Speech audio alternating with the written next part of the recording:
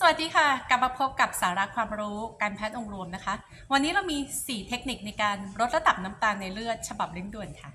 1. การดื่มน้ำเปล่าเยอะๆนะคะ ผู้ป่วยเบาหวานที่มีระดับน้ำตาลในเลือดสูงๆมักจะเกิดภาวะหิวกระหายน้ำบ่อยๆและมักจะไปหาน้ำผลไม้ น้ำหวานน้ำอัดลม ดื่มเข้าไปเยอะๆ เพื่อชดเชยการหิวดังนั้นลองเปลี่ยนนะคะมาเป็นการดื่มน้ำเปล่าให้ได้วันละ 2 ลิตร เพื่อช่วยเร่งการเผาผลาญแล้วก็ช่วยควบคุมระดับน้ำตาลในเลือดค่ะ 2. การทานผักให้มากขึ้นในแต่ละมือ้อ ผักนอกจากจะมีไฟเบอร์สูงแล้ว ผักยังช่วยควบคุมระดับน้ำตาลในเลือดได้ และลดการดูดซึมน้ำตาลเข้ากระแสเลือดได้ด้วยค่ะ 3. การทานข้าวกล้องแทนข้าวขาวค่ะ ข้าวขาสีหรือข้าวขาวมักจะมีดัชนีน้ำตาลในปริมาณที่สูงกว่าข้าวกล้อง ดังนั้นลองหาข้าวกล้องมาทานแทนข้าวขาว ก็จะช่วยควบคุมระดับน้ำตาลในเลือดได้เช่นกัน 4. ไม่ทานจุกจิกระหว่างมื้อ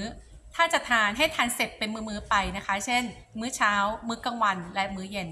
งดการทานขนมจุกจิกระหว่างมื้อ นอกจากจะควบคุมระดับน้ำตาลไม่ได้แล้ว ยังทำให้น้ำตาลในเลือดเราสูงขึ้นด้วยค่ะ